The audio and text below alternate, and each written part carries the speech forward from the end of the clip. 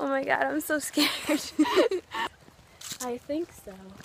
Let's hop this fence. I think we should creep up from like Yeah. like here, like somewhere. Oh god, this is terrifying. Oh I don't want to look under there. Oh, okay. Where are you? What? Now what? What am I touching? My